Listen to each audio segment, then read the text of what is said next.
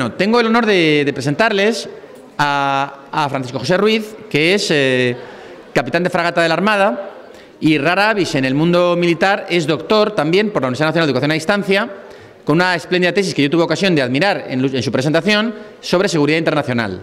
¿De acuerdo? Entonces, eh, él ahora trabaja en, el CSDEN eh, y es profesor, es profesor allí, ¿de acuerdo? en las diferentes actividades que hacen en esa institución militar tan preciosa que acaba de cumplir su 50 aniversario hace poco, ¿no? Eh, además, Paco y yo somos muy buenos amigos porque hicimos el bachillerato juntos. O sea, hace ya unos cuantos añitos de aquello, ¿no? Eh, eso también importa, ¿no? Es decir, que, que nos conocemos hace, pues hace más de 30 años, ¿no? Es decir, que el tiempo pasa a toda velocidad, ¿no? eh, él eh, es uno de los grandes expertos, eh, de los que yo conozco, pues de los que más, de los grandes expertos en España, en todo lo que es el espacio postsoviético. En eh, todo lo que es el espacio postsoviético, él es uno de los grandes. ¿no? Ustedes escriben en, Google Francisco José Ruiz González y les sale cantidad de artículos de todo tipo en numerosos think tanks españoles y extranjeros, ¿no? para ver la posición de un experto sobre el asunto de todo el espacio postsoviético. Y evidentemente, desde hace un año para acá, pues todo el espacio postsoviético ahora la noticia relevante, la que está permanentemente en prensa, es el asunto de Ucrania, ¿no?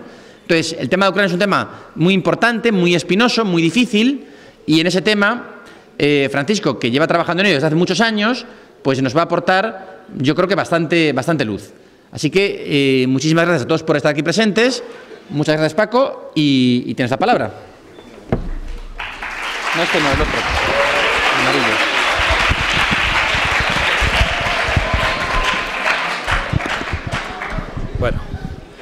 No sé si... Esto va a ser complicado.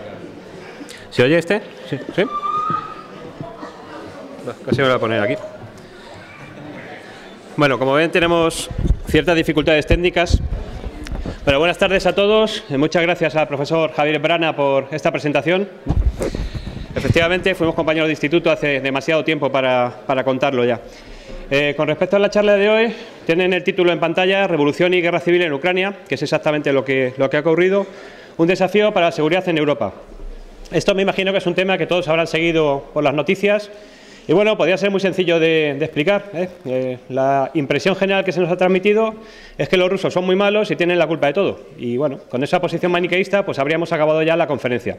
Evidentemente lo que les voy a contar yo pues es una realidad bastante distinta. No una cosa de buenos y malos, de blanco y de negro, sino de muchos grises, de muchos matices y de una realidad muy complicada. Cosa que llevo mucho tiempo haciendo, a pesar de que pues con eso le cuelgan a uno la etiqueta de prorruso, una etiqueta que llevo con, con bastante resignación.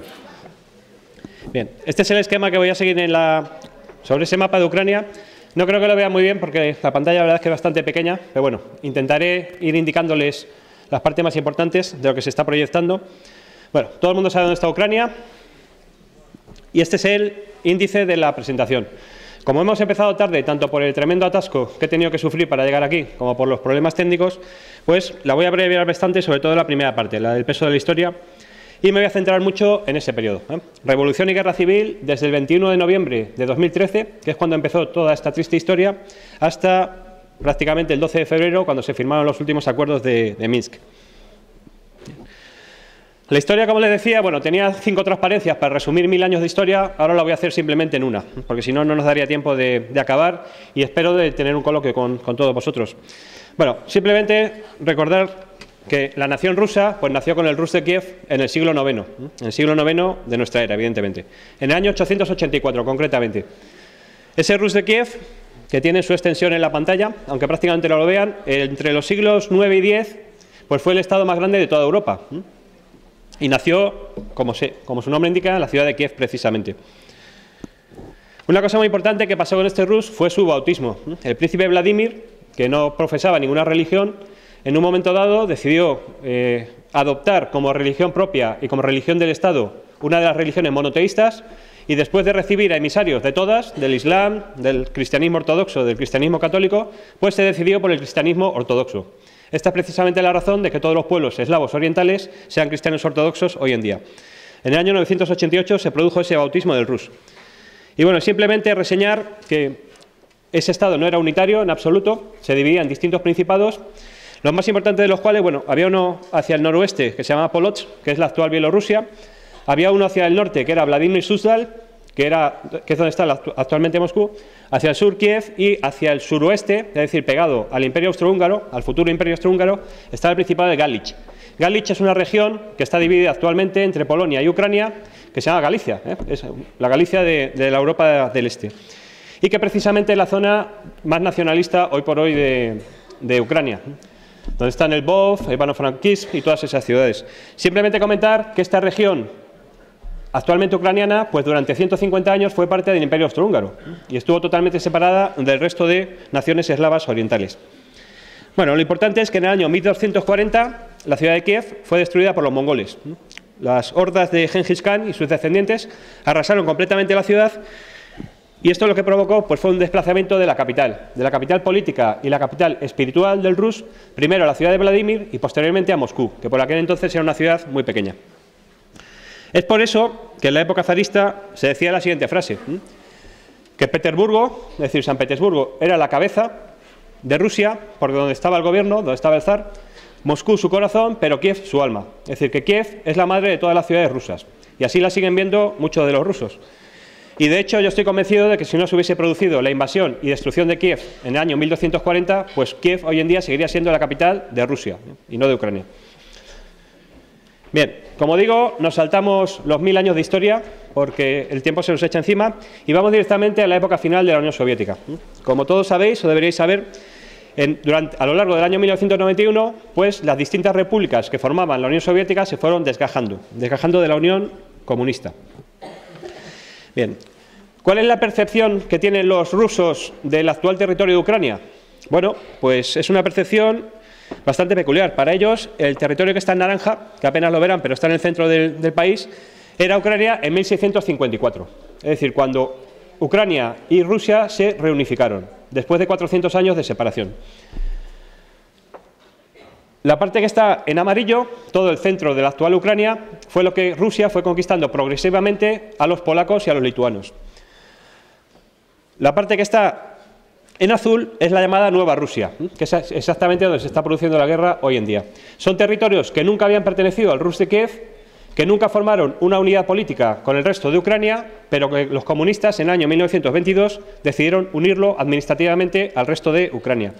Y por último, la parte que está en verde, pues es precisamente lo que les comentaba. Toda la zona occidental de la actual Ucrania, Bolinia, el BIF, Ivano-Frankivsk, etcétera, que fue asignada por Stalin después de la Segunda Guerra Mundial, después de arrebatárselo a Polonia. ¿De acuerdo? Básicamente, pues lo que piensan los rusos es que Ucrania, Ucrania quiere decir frontera, en todos los idiomas eslavos. Y Ucrania quiere decir en la frontera. Es decir, conforme la frontera va avanzando de Rusia para recuperar los antiguos territorios perdidos, pues el territorio de Ucrania iba variando.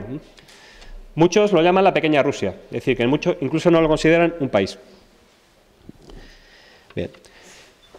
Cuando desaparece la Unión Soviética, pues hay un serio problema. ¿eh? Eh, Rusia, la Rusia que quedó después de la Unión Soviética, tenía 150 millones de habitantes solo, de los 300 que había en la Unión Soviética, y perdió 5 millones de kilómetros cuadrados con respecto a la Unión Soviética. Esto lo que supuso en Europa Occidental es que sus fronteras retrocedieron a las del siglo XVI, a las de la época de Iván IV el Terrible. Es decir, que todas las conquistas que tanto sudor y tanto esfuerzo le habían costado a Rusia durante esos siglos, pues las perdieron y las perdieron voluntariamente. Dejaron que se independizasen todos los demás territorios. Pero un problema que surgió inmediatamente fue el de la situación de los rusos étnicos. Rusos étnicos que vivían en otras repúblicas, que se acostaron un día siendo ciudadanos soviéticos y se despertaron a la mañana siguiente siendo ciudadanos extranjeros, pues en su propia casa, en su propio país. Matizo lo de extranjeros. En algunos países inmediatamente se les dio la ciudadanía. En otros países como Estonia o Letonia, por ejemplo, hoy en día siguen sin ser ciudadanos, a menos que se sometan a un proceso de naturalización, que se llama. ¿Cuántos eran estos rusos? Pues unos 20 millones en total, entre 20 y 25 millones. ¿Dónde hay grandes minorías de rusos étnicos? En el norte de Kazajstán, en los países bálticos, como he dicho, Estonia y Letonia, en Lituania no, solo eran un 8%, en Bielorrusia, por supuesto, pero también en Ucrania. Y además en Ucrania, como veremos, concentrados en unas zonas muy determinadas. En Crimea, especialmente, pero también en el sureste. Bueno, ¿qué pasó en Ucrania, en la Ucrania independiente? Pues en el año 1994 ganó las elecciones el presidente Leonid Kuchma, que era del este, de Nipopetrovsk, y este señor, que tenía muchos defectos, también tenía algunas virtudes. Una cosa que hizo fue crear una política bastante conciliadora con Rusia. Había tensiones, especialmente por Crimea, Pero Kuchma supo conciliar los intereses nacionales ucranianos con los intereses rusos, con las inquietudes de Rusia.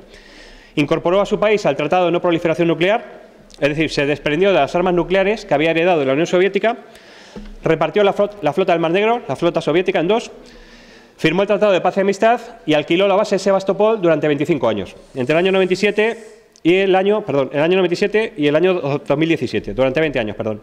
Y mantuvo una postura conciliadora con Crimea. Esto es muy importante que lo sepáis, que me imagino que pocos lo sabrán. En los años 90, entre el 92 y el 94, Crimea declaró su independencia dos veces de Ucrania, intentando unirse a Rusia, a la que sentía que pertenecía porque la mayoría de su población eran rusos étnicos.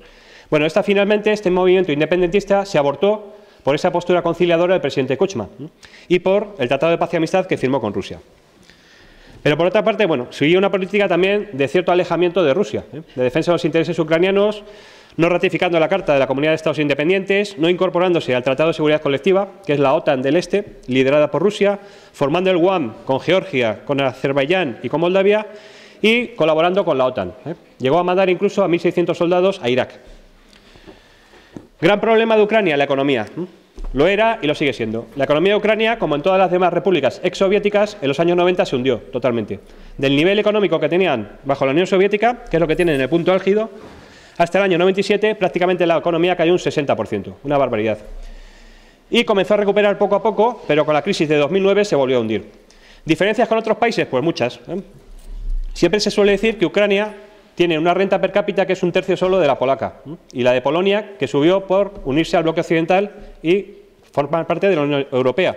Pero se suele ocultar el hecho de que también la renta ucraniana es un tercio de la rusa también. ¿eh? Es decir, Ucrania es un país donde la corrupción y las redes neopatrimoniales que se hicieron con el poder y con toda la riqueza del país le asustan hasta a los propios rusos, ¿eh? con toda la corrupción que hay también en, Rusia.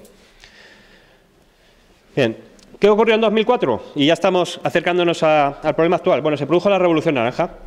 Después del segundo mandato presidencial de Kuchma, el señor que hemos visto antes, pues se presentaron dos candidatos. Eh, Víctor Yushchenko, que es el que está a la izquierda y que fue envenenado durante la campaña electoral, prooccidental, y Víctor Yanukovych, que es el que está a la derecha, procedente de Kharkov, de, perdón, de, Donetsk, del este, y que se le consideraba el candidato prorruso. Después de la segunda vuelta electoral, declararon ganador al que está a la derecha, a Yanukovych, pero hubo protestas en la calle. Hubo protestas porque se consideró que había habido un fraude. Protestas financiadas abiertamente por ese señor que está ahí, que se llama George Soros, que es un filántropo, un supuesto filántropo estadounidense, de origen húngaro, y por la aliada política de Yushchenko, que era la conocida Julia Timoshenko. Bueno, el hecho es que se repitieron las elecciones, una tercera vuelta, y ganaron los candidatos prooccidentales. Pero si os fijáis, ahí está reflejada la división de voto.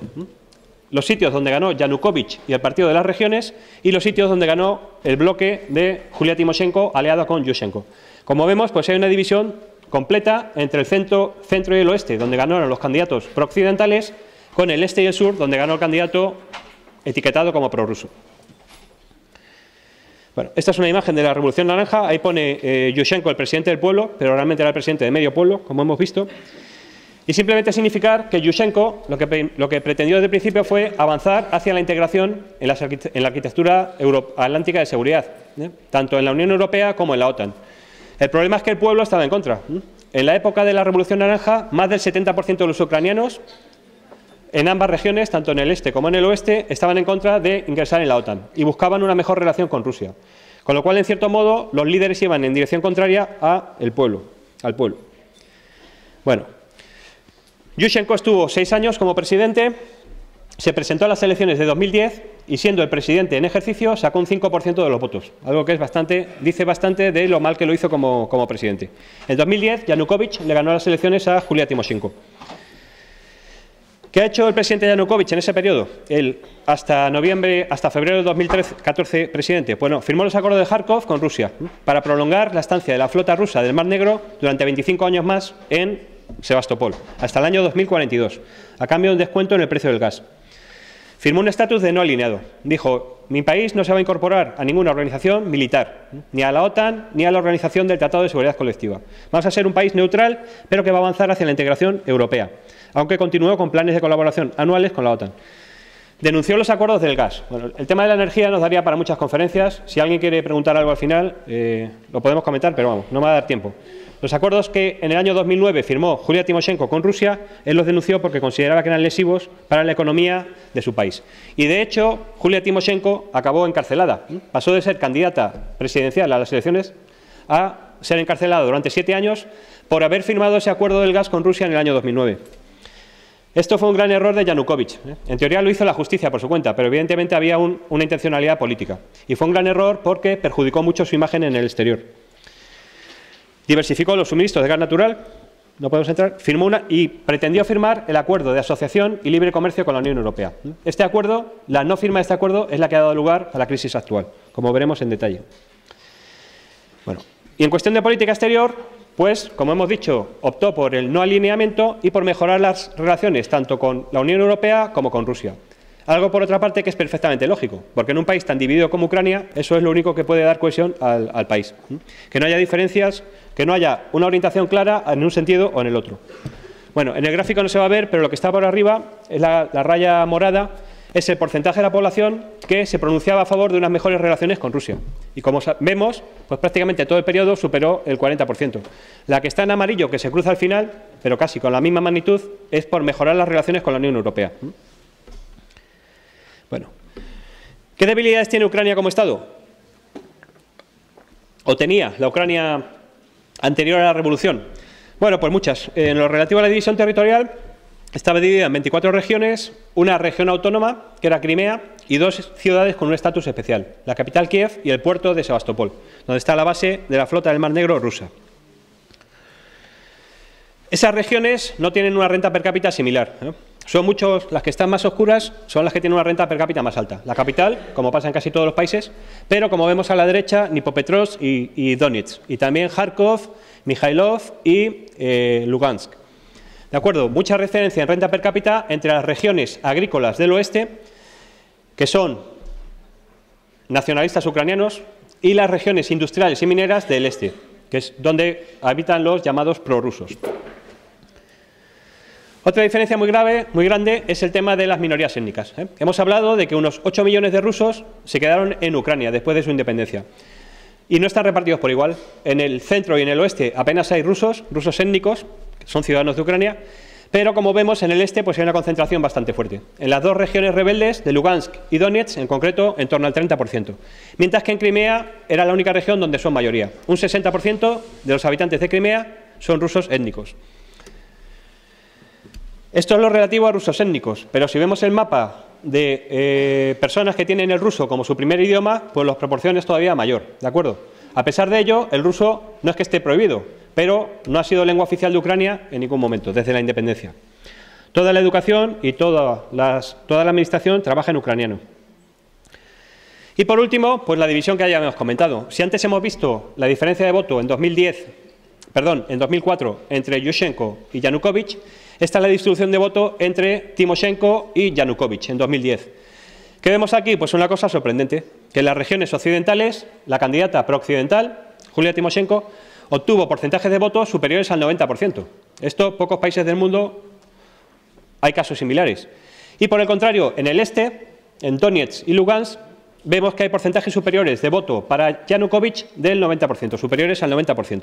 Es decir, una división enorme entre el Partido de las Regiones y el Partido de Libertad de Julia Timoshenko. Ya les anticipo que, evidentemente, a todas estas personas que votaron en 2010 a Yanukovych como presidente y que votaron en 2012 al Partido de las Regiones mayoritariamente para la Cámara, para la Rada, para el Parlamento ucraniano, pues no les hizo mucha gracia que a su presidente le sacasen a palos de, Kiev. Bueno, pues vamos a comenzar ya con la, con la crisis. A modo de crónica.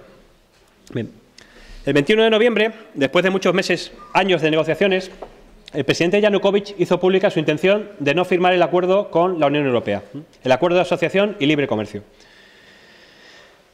¿Con qué excusa o justificación? Bueno, diciendo que era económicamente muy perjudicial para los intereses de Ucrania. Entre otras cosas, porque el libre comercio con la Unión Europea supondría que Rusia impondría barreras comerciales. En ese mismo momento comenzaron las protestas del Maidán, de la plaza del Maidán, que es la plaza central de Kiev, donde, bueno, no vamos a, entrar en detalles. Lo que sí que es importante es que desde el primer día, esa es una fotografía del primer día de las protestas, pues aparecieron esas banderas rojas y negras que se corresponde con el partido de Svaboda, Libertad, con el Pravi Sector, el sector de derechas, y que son herederos a su vez de la Organización de Nacionalistas Ucranianos, liderada por Stepan Bandera durante la Segunda Guerra Mundial. Esa organización a lo que se dedicó fue básicamente a matar polacos en Bolinia, entre 50.000 y 70.000, y a colaborar con los nazis para matar judíos en la zona del Viz porque son ultranacionalistas ucranianos. Cuando llegaron los soviéticos, pues continuaron su lucha matando soviéticos. Para la gente de esa región son unos héroes, para la gente del este son unos fascistas y unos nazis. ¿De acuerdo? Bueno, el 30 de noviembre se produjeron los primeros asaltos de la Berkut, que era el, el cuerpo especial de la policía de antidisturbios, a la plaza. Y el 1 de diciembre se produjo el primer asalto violento opositor, concretamente al ayuntamiento de Kiev. Como curiosidad, cuando la Berkut desalojó a los manifestantes de la plaza, se fueron al, monasterio de San Miguel, que está a unos 400 metros, si alguien conoce Kiev, y allí pues, bajaron a, apoyarles hasta 10 embajadores de países de la Unión Europea, lo cual comprenderéis que es una cosa bastante, bastante peculiar. Que una protesta callejera contra el gobierno haya países que manden a sus embajadores para mostrar el apoyo. Bueno, el 17 de diciembre Yanukovych intentó atajar las protestas pues firmando un acuerdo con Rusia. Básicamente, Ucrania es un país que está totalmente arruinado, ya lo estaba antes y ahora mucho más, y necesitaba 17.000 millones de dólares para aguantar durante 2014, para no entrar en default, en suspensión de pagos. Bueno, Rusia le hizo ese préstamo, ese préstamo de 15.000 millones de dólares, y le bajó un 30% adicional el precio del gas. Con esto Yanukovych pensaba que se iban a aplacar las protestas, pero bueno, el efecto fue justo el contrario. Los sectores occidentales, más occidentalistas, lo entendieron como una vendida del país como una venta del país a Rusia. En aquel momento, eh, bueno, como decía el profesor Brana, yo he seguido esto día a día, he escrito en muchos medios, he pronunciado muchas conferencias, y yo en ese momento, en 8 de diciembre de 2013, ya decía que si la Unión Europea seguía alentando las protestas y los opositores de las regiones occidentales pretendían hacer caer por la fuerza al gobierno, que no era descartable una definitiva ruptura de Ucrania en dos. Esto era algo que cualquiera que conozca un poco Ucrania y el espacio postsoviético lo podía intuir en ese momento. Pero parece que la gente pues, no, no tomó nota. Bueno, ¿cómo acabó el, mandato de Yanukovych? El 16 de enero, la Rada, el Parlamento, aprobó una serie de medidas represivas contra las manifestaciones.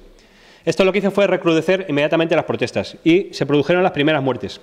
El día 22 de enero murieron dos manifestantes, que curiosamente ninguno de los dos era ucraniano. Uno era armenio y otro era bielorruso. Bueno, como vemos, comenzaron a aparecer todas esas milicias perfectamente equipadas para una guerra urbana con su simbología del partido Svaboda y del sector de derechas. El 28 de enero se produjo la dimisión del primer ministro, Azarov, y el 18 de febrero pues ya se produjo, eh, comenzaron los eventos más serios. Unos 26 muertos, aunque no hay cifras exactas de muertos en ese periodo, hoy en día todavía no las hay, pero fijaos que 10 de ellos fueron policías, es decir, que el grado de violencia de los manifestantes era enorme. De hecho, tenemos una fotografía pues, de un manifestante disparando, eh, disparando a los Berkut. El 20 de febrero, tras un día de impas, esto ya lo recordaréis todos, se produjo pues, la gran batalla campal en el centro de Kiev. ¿eh? El episodio de los francotiradores, con un total de unos 88 muertos. Aunque sigo, como he dicho antes, nadie sabe exactamente cuánta gente murió. Y el 21 de febrero, un día después, tres ministros de la Unión Europea, el francés, el alemán y el polaco, llegaron a Kiev y forzaron un acuerdo político entre el presidente y la oposición, por el cual, pues básicamente, se harían elecciones presidenciales a final del año 2014 y se formaba un gobierno de concentración nacional hasta ese periodo. Se volvía a la Constitución de 2004 y se anulaba toda la legislación represiva que se había aprobado en, en enero. Lo que decíamos entonces es que Yanukovych había llegado al límite de lo que podía conceder, por lo que la posición más sensata para la oposición liberal, que eran los partidos Patria de Julia Timoshenko, que estaba en la cárcel, y Udar, del boxeador Klitschko, difícil de pronunciar, pues era entrar en un gobierno de concentración y aislar a los sectores más radicales, que realmente eran los que habían tenido protagonismo en las, en las revueltas. Bueno, pues esto no se produjo. Un día después de firmar el acuerdo, se produjo el golpe de Estado el 22 de febrero. Esto habrá mucha gente que lo discuta, pero a mí está fuera, para mí está fuera de toda discusión. Lo que se produjo el día 22 de febrero en Kiev fue un golpe de Estado. Un golpe de Estado porque se destituyó al presidente que había sido democráticamente elegido siguiendo un proceso anticonstitucional. La Constitución de Ucrania prevé un proceso para destituir al presidente en caso de grave enfermedad o de incumplimiento de sus deberes, pero no se siguió, no se siguió en absoluto. ¿Qué ocurrió ese día?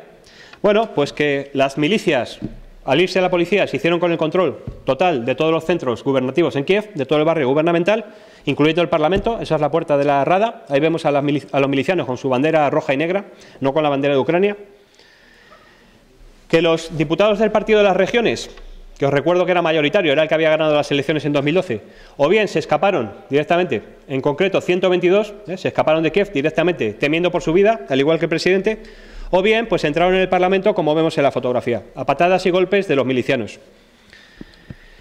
Que en un proceso caótico de votaciones se acordó destituir a Yanukovych y nombrar al presidente de la Rada, Alexander Turchinov, como nuevo presidente eventual, por unanimidad de los 328 diputados que se habían quedado allí, es decir, algunos diputados del Partido de las Regiones, también temiendo por su vida y bajo esa violencia, votaron por destituir al presidente Yanukovych. Que se nombró primer ministro a ese señor de la izquierda, que sigue siendo actualmente el primer ministro y máximo representante del Partido de la Guerra en Ucrania, eh, Arseny Yatsenyuk, el de la derecha es el presidente eventual. Se formó un nuevo gobierno en el cual 18 de los 20 ministros eran del oeste y del centro, es decir, que dejaba sin representación al este y al sur, en concreto solo dejaba un ministro de Kharkov y otro de, Crimea. Este nuevo Parlamento lo primero que hizo también fue anular una ley de 2012 que convertía el ruso en idioma oficial en las regiones donde era la lengua madre de más del 10% de la población. Eso, si en la destitución de Yanukovych lo votaron 328 diputados, la anulación de la ley de oficialidad del ruso solo lo votaron 212, exactamente porque era una provocación sectaria e innecesaria a las minorías rusoparlantes de, rusófonas del este y del sur de, Ucrania. De hecho, lo votó el Parlamento, pero el presidente no lo refrendó, porque se dio cuenta de las consecuencias que podía tener esta, medida. Y por último, pues se tomaron la revancha las milicias del Maidán de los que habían sido sus enemigos, ¿eh? de los Berkut. Esta es una fotografía de algunos eh, policías del Berkut capturados después del, golpe de Estado y obligados a pedir perdón de rodillas en el BOV o el BIF como dicen, como dicen los ucranianos. Bueno, ¿qué decíamos en ese momento, en el, día 25 de febrero, tres días después del golpe? Que la única salida pacífica para Ucrania pasaba por buscar la concordia entre regiones, desarmar a las milicias, esas milicias que controlaban el país, se había perdido la autoridad, ya que de lo, contrario no era descartable una división del país, comenzando por Crimea, y que se pudiese llegar incluso a un enfrentamiento armado. Bueno, evidentemente esas palabras fueron proféticas, pero no había que ser un gran adivino para, para saberlo. Avanzamos rápidamente. Crimea. El día 25 de febrero, el Parlamento de Crimea destituyó al primer ministro de la región y nombró un nuevo primer ministro abiertamente prorruso, que abogaba por la independencia de Crimea y por su reincorporación a Rusia. ¿De acuerdo? Esa es una imagen de las manifestaciones en Simferopol, que es la capital, con banderas rusas y de la Marina rusa se anunció un referéndum de independencia para el día 30 de marzo, que finalmente se adelantó al día 16. Y aparecieron, aparte de una serie de milicias, aparecieron los famosos eh, hombrecillos verdes, amables hombrecillos verdes, que Rusia negó que fuesen soldados suyos, pero bueno, con el tiempo lo reconoció. Básicamente Rusia tenía 17.000 soldados estacionados en Crimea, no invadieron Crimea ni los mandaron allí como se oye muchas veces. Eran soldados que estaban basados en Crimea de acuerdo con, de acuerdo con los pactos que tenía Ucrania con, Rusia, eh, de Kharkov. Pues esos 17.000 soldados lo que hicieron fue salir de sus bases, rodear las bases ucranianas y garantizar que no hubiese interferencia armada, que no pudiesen venir milicias del Maidán o tropas ucranianas estacionadas en Crimea, que no pudiesen interferir con el proceso independentista, hasta la votación. Bueno, el resultado de la votación fue una participación del 88%, aunque es cierto que no hubo muchas garantías, una participación del 88% y un 97% que votó por la independencia de Ucrania y por la unión con Rusia. Esto pues era de esperar, ¿eh? porque en el año 2008 las encuestas decían que del 60% de población rusa de Crimea, el 75% aproximadamente quería la reunificación con Rusia. Pero lo más sorprendente es que de la minoría ucraniana, que eran el 24%, también el 60% querían independizarse de Ucrania y unirse a Rusia. Evidentemente por una motivación económica, porque el nivel de vida de Rusia era mucho más alto. La única minoría que no quería saber nada de Rusia eran los tártaros, la población original, porque en su momento fueron deportados por Stalin a Siberia. Bueno, el hecho es que Crimea votó por su independencia y dos días después Putin, el presidente ruso Putin, firmó la incorporación de Crimea como nuevo sujeto federal a la Federación de Rusia. Bueno, lo que decíamos en aquel momento, y ya avanzamos rápido, es que una vez ocurrido este episodio de Crimea, que por cierto ya les anticipo que es totalmente irreversible, es decir, Ucrania ha perdido Crimea para siempre, lo que ocurriese en el resto de provincias rusófonas, y citaba Donetsk, Kharkov y Lugansk, dependerá de la actitud de los revolucionarios del Maidán. Pasada esa euforia revanchista, o buscaba una posición conciliadora con las autoridades del Este o iban a surgir nuevos problemas. No existen soluciones alternativas que no lleven al fin de Ucrania como el Estado que conocemos. Nuevamente, palabras proféticas. Bueno, ¿qué ha pasado en el sureste? El 7 de abril, es decir, casi un mes después de la incorporación de Crimea a Rusia, se ocuparon edificios oficiales. Milicias prorrusas del sureste de, Ucrania, copiando las tácticas de las milicias del Maidán, que habían ocupado instituciones oficiales y cuarteles en el oeste del país contra Yanukovych, pues ocuparon edificios oficiales, pidiendo una descentralización del país. Ucrania es un Estado totalmente unitario, no tiene ningún tipo de autonomía, las regiones. Ocuparon todos esos edificios en Kharkov, Donetsk y Lugansk. ¿Cómo reaccionó el gobierno provisional ucraniano? Resultado del golpe de Estado. Bueno, en principio, Yatsenyuk habló, de una negociación, de una negociación con esos rebeldes, con esos milicias que protestaban. Pero el día 15, el presidente Turchinov anunció la operación antiterrorista, una operación antiterrorista. Concretamente, un día después de la visita secreta del director de la CIA a Kiev. El día 17 de abril se celebraron conversaciones en Ginebra entre la Unión Europea, Ucrania, Rusia y Estados Unidos, pero los acuerdos alcanzados no se pudieron cumplir. Con lo cual se reanudaron las operaciones. Esas operaciones militares, pues al principio fueron un desastre. Básicamente la población, la población del sureste, las señoras, los ancianos y los niños, paraban a los carros, a los vehículos blindados a la entrada de los pueblos. Y la mitad de los que iban a los vehículos blindados eran de esa región, con lo cual muchas veces optaban por coger el blindado e irse a su casa. Y se lo llevaban y se lo entregaban a los, a los rebeldes. Esa primera ofensiva, como digo, fue un auténtico desastre. ¿Qué pasó en otras regiones, en otras regiones del sureste y del sur? Por ejemplo, en Odessa, que es una ciudad con una, una fuerte presencia de rusohablantes y de, y de gente favorable a Rusia, el 2 de mayo se produjo la masacre, una masacre. En concreto, hubo una manifestación del Maidán y una manifestación anti-Maidán, se estuvieron peleando todo el día y finalmente los prorrusos se Acosados, se escondieron en la, casa de los sindicatos y las milicias del Maidán del sector de derechas le pegaron fuego al edificio y los quemaron vivos. En algunos medios occidentales, poco menos que decían que ellos desde dentro se habían pegado fuego al edificio, se habían quemado vivos solos. ¿no? Pero bueno, fue una masacre y a los que se tiraban por las ventanas los mataban a palos al caer. No se sabe tampoco muy bien cuánta gente murió. Se habla de 42, pero también de cifras mayores. Es decir, se atajó la rebelión en otras regiones por el expeditivo método de quemar vivos a los prorrusos. Y el 11 de mayo se celebró un referéndum de independencia en esas dos regiones, en Donetsk y Lugansk. El voto a favor de la independencia y de la unión con Rusia fue mayoritario. Bien es cierto que tampoco hubo ningún tipo de garantía legal. Ahí pone, bueno, por el referéndum, por Nueva Rusia, por el Bajo Don. Y una vez declarada la independencia, se unificaron las dos regiones bajo el nombre de la Nueva Rusia, que como recordamos era el nombre que tenía esa región en la época imperial. El 25 de mayo se celebraron elecciones presidenciales.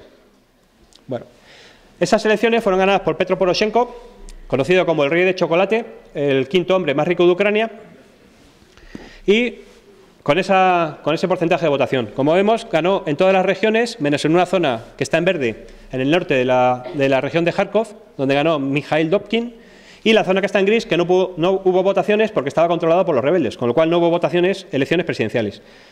Es decir, la victoria de Poroshenko fue inapelable, pero si nos fijamos en la participación, lo que vemos es que la participación fue muy alta en el oeste, en las zonas nacionalistas que habían salido victoriosas de la revolución ucraniana, y bajísima en el este y en el sur, incluso en las zonas que estaban controladas por el gobierno.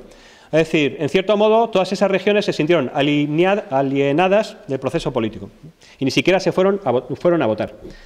Bueno, Poroshenko en teoría venía con un plan de reconciliación nacional porque era un candidato bastante pragmático el 27 de mayo se reconquistó el aeropuerto de Donetsk, hay muchos vídeos en YouTube si los quieren ver, y el 13 de junio Mariupol. La famosa ciudad de Mariupol, de la que tanto se habla ahora, estaba controlada por las milicias, pero los mineros, de, los mineros del hombre más rico de Ucrania, de Rinat Akhmetov, los desalojaron. Entre el 20 y el 29 de junio hubo un alto el fuego, un último intento de lograr una solución negociada a la crisis, se retiró la autorización que tenía Putin para utilizar sus tropas en Ucrania y se firmó el acuerdo con la Unión Europea, el acuerdo que Yanukovych no había querido firmar. Y el 30 de junio, Poroshenko puso fin al alto el fuego. Básicamente, lanzó un ultimátum a los rebeldes. ¿eh? No les ofreció un plan de negociación o de reconciliación nacional, sino que simplemente les, quería obligar a que se rindiesen. Bueno, ¿cuál es la situación política de Ucrania? Y aquí ya enlazamos con la situación actual. Bueno, básicamente el Euromaidán sigue controlando la política en Ucrania. Es decir, existe siempre el riesgo, y Poroshenko yo creo que lo siente, de que se haga una nueva revuelta si la situación de seguridad o sus políticas son más favorables hacia Rusia. Es decir, que las milicias extremistas de Svaboda, de Libertad y del sector de derechas, aunque no tienen apenas representación, porque en las elecciones presidenciales sacaron un 3% de los votos, pero sí que tienen mucha fuerza porque ellos se sienten los vencedores de la revolución, con lo cual siguen supervisando el proceso político con individuos pues como esos que vemos en, la imagen, que es una manifestación real por las calles del BOF, donde van con todo tipo de tatuajes nazis y camisetas con simbología de las SS. Por otra parte, en el este de Ucrania, lo que hicieron las nuevas autoridades fue, nombrar a oligarcas como gobernadores, ¿eh? sin contar para nada con la zona, con la población de la, zona. En concreto, ese que está en la pantalla se llama Igor Kolomoisky, lo nombraron gobernador de Nipopetrovsk y este señor está financiando de su bolsillo, se está gastando 10 millones de dólares mensuales, perdón, mensuales de su bolsillo en financiar milicias para que luchen contra los prorrusos. ¿Qué tipo de milicias? Pues los famosos, tristemente célebres, batallones de voluntarios. Estos batallones de personas altamente fanatizadas fueron la punta de lanza de Ucrania para recuperar el terreno durante junio y la ofensiva de julio. Como digo, están financiados, son batallones de mercenarios que están financiados por oligarcas o por el gobierno central. Entre ellos, este que tenemos en la pantalla se llama el batallón Azov, es uno de los más activos y los más fanatizados, y bueno, su, símbolo es una Wolf's Angel, perdonen, pero alemán no sé, que es un símbolo invertido con respecto al que utilizaban las Waffen SS en la Segunda Guerra Mundial. no sé si pensaban engañar a alguien invirtiendo el signo. En las elecciones legislativas, ¿qué pasó? Bueno, pues que hubo un empate técnico entre Poroshenko y Yatsenyuk. El presidente Poroshenko convocó las elecciones anticipadamente en agosto, pensando en que iba a lograr una mayoría amplia, que respaldase sus políticas, porque él era el presidente, pero no tenía una mayoría parlamentaria, dependía de Yatsenyuk y del partido Patria. Bueno, en esas elecciones pues, fue relativamente una sorpresa el fracaso de Poroshenko, aunque finalmente tuvo más diputados que ningún otro. No hay representación del este y del sur, es decir, el partido de las regiones pasó de ser mayoritario a no tener ningún tipo de representación. Ahora hay un bloque opositor que tiene 40 diputados, pero son muy pocos en un, congreso de 420. Y se nombraron incluso ministros extranjeros, ¿eh? lo cual es una cosa bastante curiosa. Llegaron al punto de ofrecer la vicepresidencia del país al expresidente de Georgia, Mikhail Saakashvili. Es decir, que consideraban más dignos de ser miembros del gobierno de Ucrania algunos extranjeros que a ucranianos del este y del sur. Y se aprobó el 16 de septiembre la ley de ilustración, esto lo que quiere decir es que cualquiera que hubiese servido en la administración de Yanukovych, al menos durante un año, no podía estar en la nueva administración. Es decir, echaban de la administración a todos los cargos públicos y a todos los mandos administrativos que habían estado con el anterior gobierno. Que repito por enésima vez que, era, que había sido democráticamente elegido. Bueno, esto lo saltamos porque ya no es el caso. Bueno, ¿qué pasó con la campaña militar? Ya nos acercamos al final de la crisis. El 5 de julio, los rebeldes abandonaron Kramatorsk y Slaviansk, que eran los símbolos de su resistencia, por esa ofensiva de las milicias y de la nueva Guardia Nacional, no del ejército ucraniano que se había desbandado. El 17 de julio se produjo el derribo del avión de Malaysian Airlines, con la muerte de 298 pasajeros y tripulación. El 13 de agosto, ya en plena ofensiva ucraniana, comenzó el sitio de Lugansk, ¿eh? que era la segunda capital rebelde, después de Donetsk. Ahí pongo entre comillas, limpieza étnica. Pues en cierto modo sí. Entre el 15 de julio y el 30 de agosto murieron unos 2.000 civiles, ¿eh? masacrados en sus casas con bombardeos indiscriminados, principalmente de las fuerzas gubernamentales. Y 800.000 huyeron del país, con dirección a Rusia. Muchos lo calificarían de limpieza étnica. El 22 de agosto se produjo el envío de un convoy humanitario ruso, lo cual generó una enorme protesta tanto de Ucrania, que no lo había autorizado, como de Occidente, lo cual es llamativo, porque bueno, en, pleno momento de los combates, que la preocupación fuese que se llevaba ayuda humanitaria a la ciudad sitiada de Lugansk, era bastante peculiar. El 27 de agosto se encontraron Putin y Poroshenko en Minsk. La foto no la van a ver, pero bueno, la cara de, Putin es, muy reveladora de lo que estaba a punto de pasar. Y lo que pasó es que fue el 27 y 28 de agosto hubo un contraataque rebelde que cogió totalmente desprevenido a las tropas ucranianas, se produjo una gran masacre en Ilovaisk, donde quedaron cercadas y prácticamente los ucranianos salieron a la carrera y el 5 de septiembre se vieron obligados a firmar un alto el fuego. Con respecto a este evento, en concreto el del derribo del avión, hoy en día todavía no sabemos la verdad de lo que, de lo que ocurrió. Evidentemente, ya no digo al día siguiente, el mismo día todo el mundo le echó la culpa a los prorrusos, a las milicias rebeldes y por extensión a la propia Rusia. Pero han pasado muchos meses, no sabemos el contenido de las cajas negras y nadie ha presentado pruebas fehacientes de quién produjo el derribo. Si lo planteamos en términos de cui prodest, es decir, a quién beneficia, pues evidentemente a quien benefició fue al gobierno de Ucrania. No digo que lo hayan hecho ellos, seguramente fue un accidente, pero al que benefició fue al gobierno de Ucrania. ¿Por qué? Porque era imposible hacer una ofensiva contra Donetsk y Lugansk que no conllevase un gran número de bajas civiles. Y esto iba a ser mucho para la opinión pública mundial.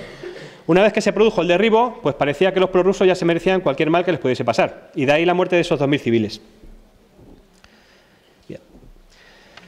En cierto modo, Poroshenko fue elegido como presidente para acabar con la guerra. ¿eh? Y él lo que intentó fue ganar la guerra, finalmente. Y no lo consiguió. Bueno, ya hemos llegado a la parte final de la conferencia. Actores externos. Estados Unidos y la OTAN.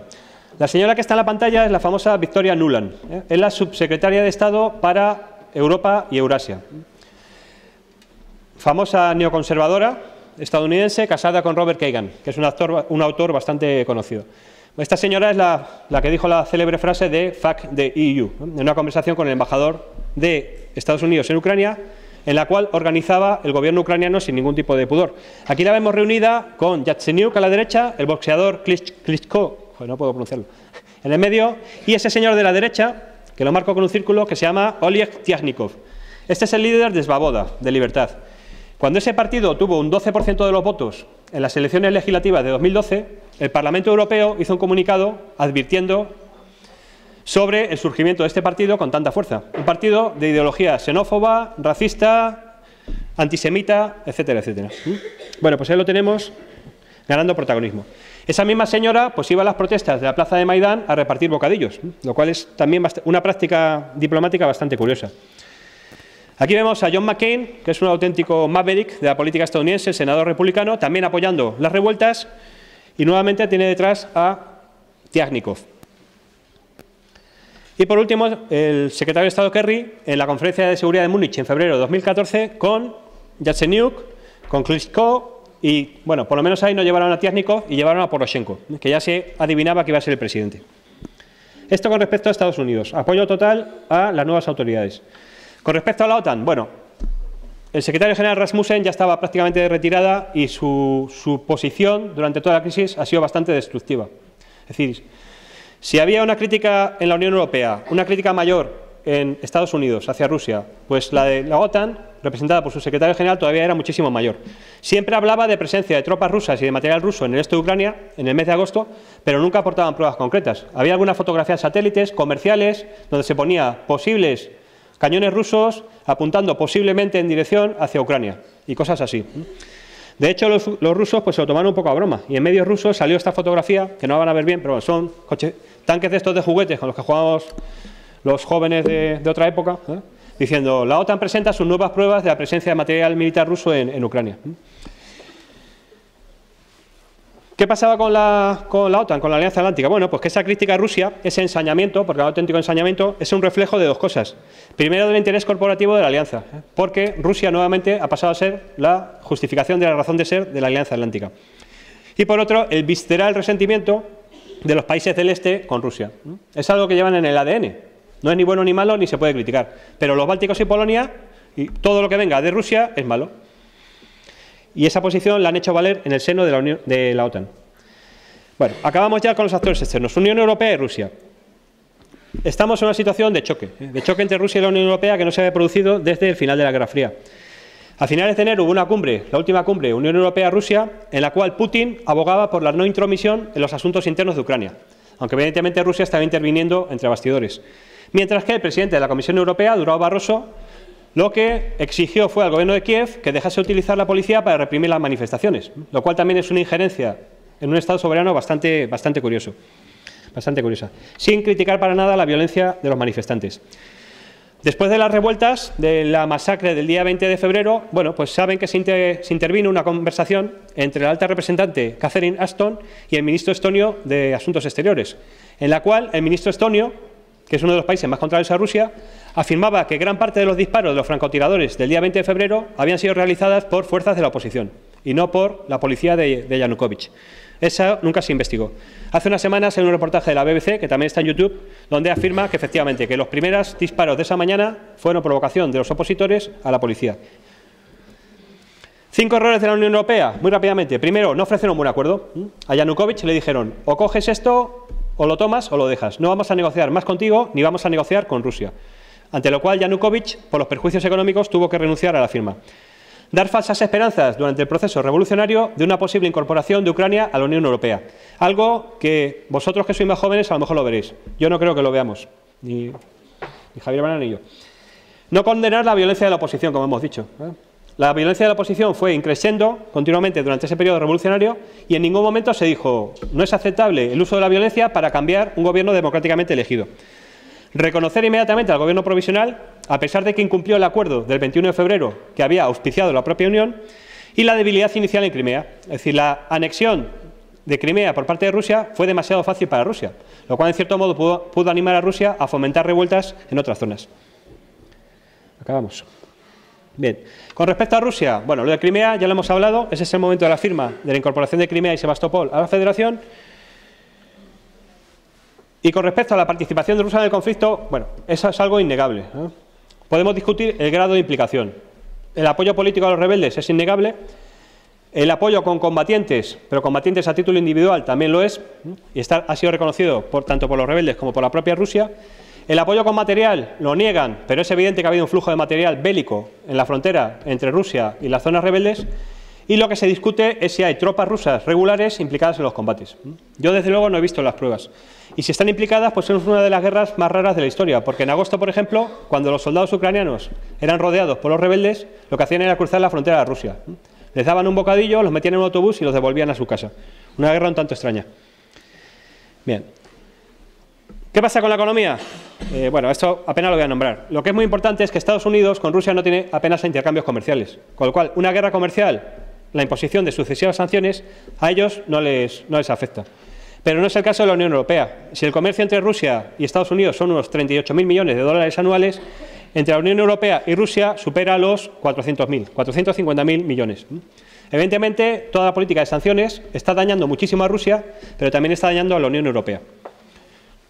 Y por otra parte, Rusia tiene la alternativa de incrementar su comercio con China, que el año pasado ha alcanzado prácticamente los 100.000 millones de dólares. Y quieren que para 2020 haya alcanzado los 200.000. Es decir, se está volviendo hacia el este. Bueno, y esta es la última transparencia. Eh, dijimos que el 5 de septiembre se firmó un alto el fuego, los acuerdos Minsk 1. Evidentemente este alto el fuego no se ha respetado nunca.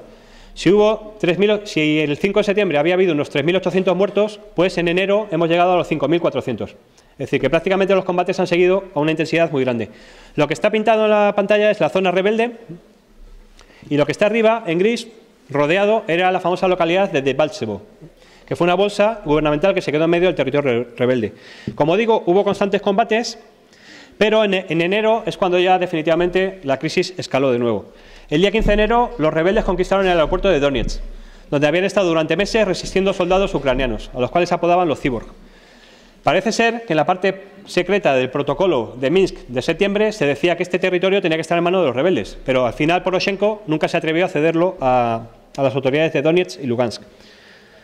Hubo una contraofensiva al día siguiente que fue un auténtico desastre militar. Y ante la escalada de tensiones, pues Angela Merkel y François Hollande, la canciller alemana y el, y el, presidente francés, lanzaron una iniciativa de paz. Esta iniciativa culminó cinco días más tarde en el acuerdo de Minsk. Esto lo que prevé es un nuevo alto el fuego, una zona de separación de 50 kilómetros entre los rebeldes y los gubernamentales que se creen milicias locales, que el alto el fuego lo verifique la OSCE, la Organización para la Separación de Seguridad y Cooperación en Europa, una reforma constitucional precisamente orientada a dar autonomía a estas regiones, no sabemos qué grado, que el control de la frontera, si hay un acuerdo político, vuelva a pasar a manos de Ucrania y una amnistía para todos los que han participado en los combates. Esto es lo que se ha acordado el 12 de febrero en Minsk. ¿Qué ha pasado con Debaltsevo, donde continuaron los combates? ¿Ha sido esto una quiebra del acuerdo de Minsk? Pues yo creo que no. ¿eh? Aunque Occidente ha dicho que sí, y Ucrania también, pero lo han dicho con la boca pequeña. ¿eh? Mi percepción es que Debaltsevo se acordó que pasaba a manos de los rebeldes. Porque de hecho la mayor parte de las tropas pudieron escapar y además lo hicieron con su armamento. Es decir, se les facilitó una retirada digna antes de que muriesen todos rodeados. Y como hemos dicho, pues ya se sobrepasan los 5.400 muertos. Y este es un tema muy polémico. ¿eh? Si alguien quiere. El tema del suministro de armas a Ucrania.